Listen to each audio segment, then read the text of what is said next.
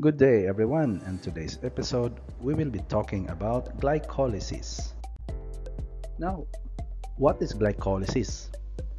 Glycolysis is part of the metabolic pathway. Glycolysis occurs in the cytoplasm of cells. Glycolysis is the first stage of both aerobic and anaerobic cellular respiration. Now, what happens during a glycolysis reaction?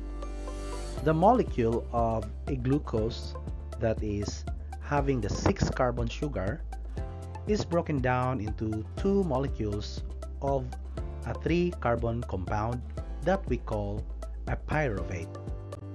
And so, a glycolysis reaction produces ATP or adenosine triphosphate and NADH or nicotinamide adenine dinucleotide.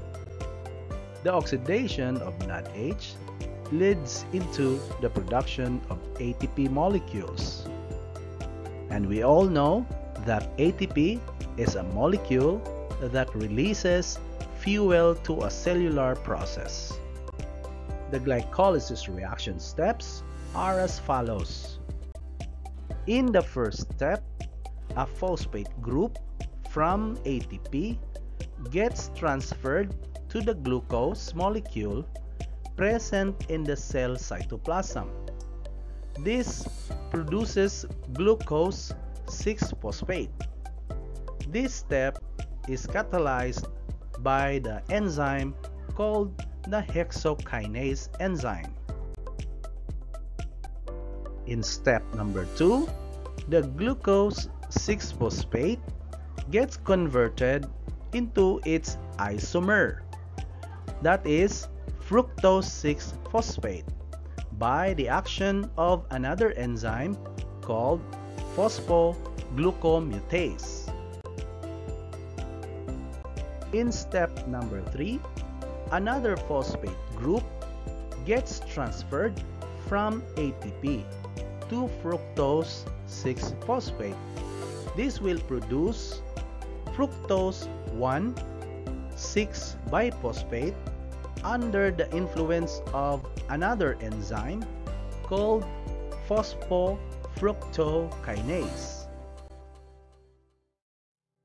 In step number 4, the enzyme aldolase acts on the fructose 1 6 biphosphate and splits this into a dihydroxyacetone phosphate or DHAP or DAP and glyceraldehyde 3-phosphate. These two 3-carbon molecules are isomers of each other. Out of them, only the glyceraldehyde 3-phosphate can directly continue through the next step of glycolysis.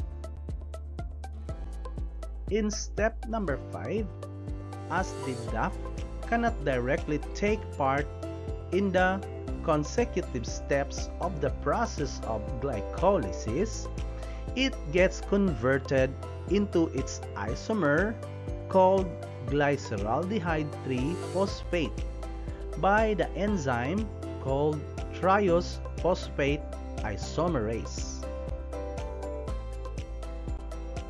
The enzyme glyceraldehyde 3-phosphate dehydrogenase or GAPDH adds a phosphate from the cytosol to the glyceraldehyde 3-phosphate to form the molecule 1, 3-biphosphoglycerate. The same enzyme also dehydrogenates the glyceraldehyde 3-phosphate by transferring one of its hydrogen or H plus molecules to the oxidizing agent called NAD plus to form the molecule NADH and H ions.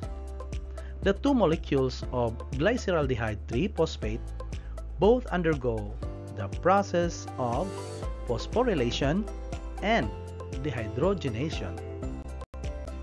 After this, in step number 7, the 1,3-biphosphoglycerate donates one of its phosphate groups to ADP, making a molecule from ADP into an ATP and turning into 3-phosphoglycerate called 3-PGA in this process and so therefore there are two molecules of 1 and 3 biphosphoglycerate and the reaction will now yield in 2 3 PGA and 2 ATPs. In step number 8, this 3-phosphoglycerate gets converted into its isomer which is the 2-phosphoglycerate by the action of the enzyme called phosphoglyceromutase. And in step number 9, the enzyme enolase acts on 2-phosphoglycerate and removes a molecule of water from it, thus producing what we call a molecule called phosphoenol pyruvate or PEP. In step number 10, the PEP is an unstable molecule so it loses one of its phosphate group in this step and so the lost phosphate group gets to the ADP under the influence of the enzyme called pyruvate kinase. In this step, this will yield into a two molecules of pyruvate and two molecules of ATPs in the end. As this pyruvate enters into the next phase of cellular respiration, it is considered as the end product already of glycolysis.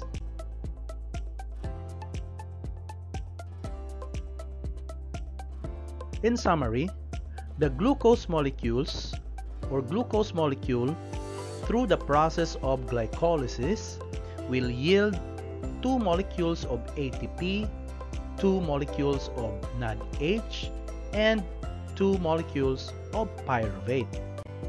Now, these pyruvate or pyruvate molecules later on can enter into the various metabolic pathways depending on the cell's needs and the availability of oxygen.